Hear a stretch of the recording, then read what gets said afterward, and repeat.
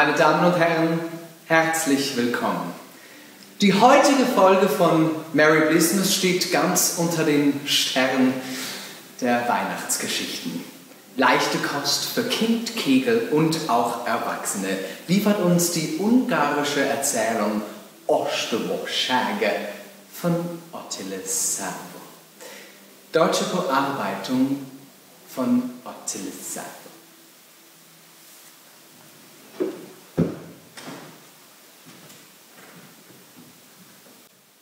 Ein Sternlein.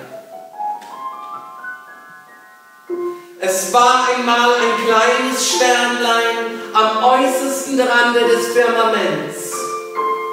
Jedoch war es ein ganz junges und zartes Sternlein, dessen Leuchten so klein und schwach war, dass es von den großen Sternen kaum wahrgenommen wurde. Tagtäglich musste es sich anhören, wie sich die anderen darüber lustig machten. Deinem schwachen Leuchten wirst nie zu einem der großen Sternbilder gehören. Feixten die Sterne des kleinen Wagens und auch jene des großen Bären drehten ihm ganz gemein den Rücken zu. Es war gerade mitten in der Weihnachtszeit, als das kleine Sternlein eines Abends einen hell erleuchteten Planeten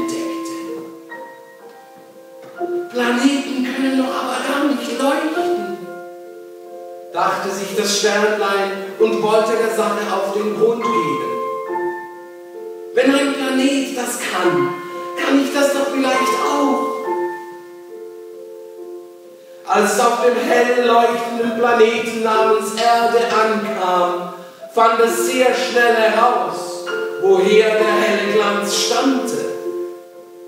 Hinter jedem Fenster und in jeder Straße, ja sogar in den Bahnhöfen leuchteten und glitterten Lämpchen in den verschiedensten Farben.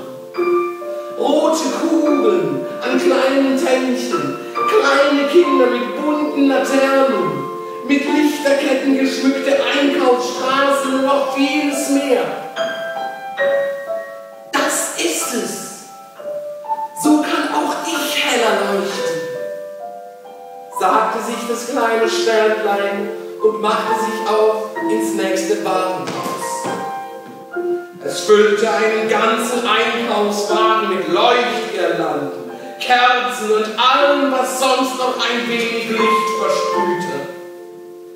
Voller Freude verließ es das Geschäft, trat auf die Straße und wurde zu seinem Unglück vom Tram der Linie 3 überfahren.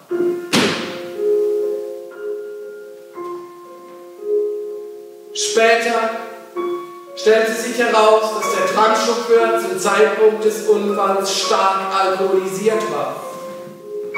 Seither nennt man diesen Zustand gemeinhin auch Sternhagelvoll. Und weil das kleine Sternlein nun gestorben ist, lebt es nicht mehr heute.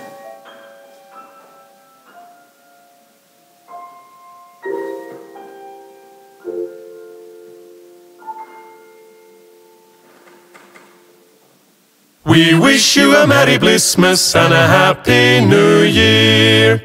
Und dass der Mike Shiva auch mal recht hat. If you tell me more.